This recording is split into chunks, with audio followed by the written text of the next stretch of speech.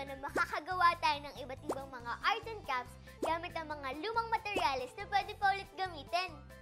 Ah, dito pala yun, no? Pero saan dito? Sa workshop studio nila.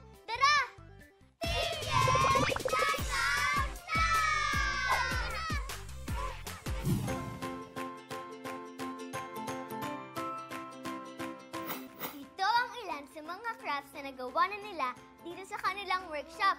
At ngayon, tuturuan tayo ni Kuya Robert na gumawa ng mga ito. Hi! Hi po! Ako si Kuya Robert. Ako naman po si Yesha at ang kasama ko po ay si Santino, si Althea, tsaka si JC. Hi! So, andito tayo. Ang daming crafts na pwede natin gawin. Opo. Pero today, ang gagawin natin ay crafts mula sa recycled materials. Yay! Okay? Ready? Yes! Ready? Let's go!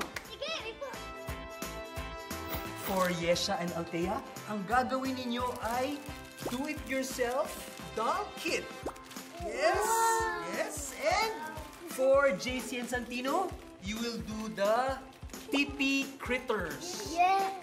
Ngayon, meron tayong iba't ibang characters. Gusto mo yung fox ba? Opo. And ikaw? Okay. Yung kit, andyan na yung mga materials. So, buksan natin yung kit. Ready na tayo magsimula? Apa. Simulan muna natin yung TP critters, okay? Kailangan maingat parati sa paggamit ng gunting.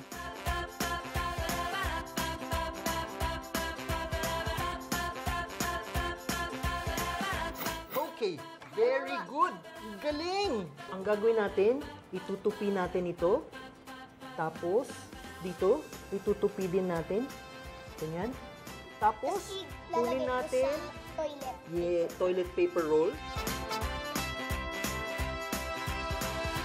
And then ito, lagyan natin ng tape din dito. Para po hindi siya Hindi siya gagalaw-galaw. Magalaw po. Tapos, syempre, nakadikit dito. Ganyan. Very good.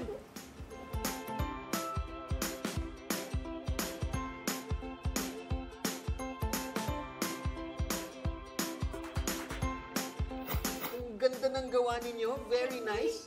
So, papabayaan ko na kayo. Magpipintura kayo gamit ang acrylic. Paint. Lagyan ninyo ng damit. So, habang nagpipintura sila, magsisimula na tayo sa do-it-yourself doll kit. Alright. So, kunin natin yung kit. Ngayon, ito ang gugupitin natin to. Alright? So, kunin natin again, Liliitan po. itan bago putulin ulit.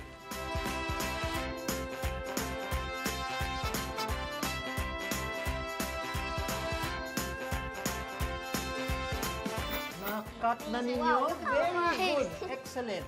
Papakita ko sa inyo yung samples. Gaya nito.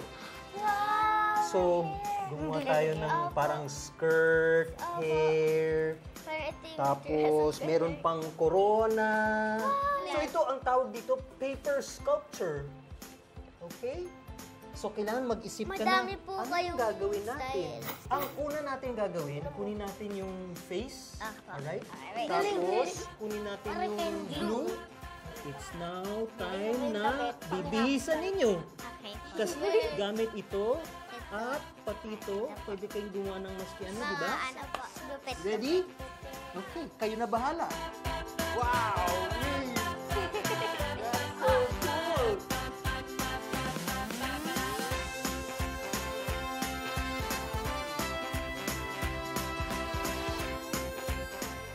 Ayan, tapos na tayong lahat oh.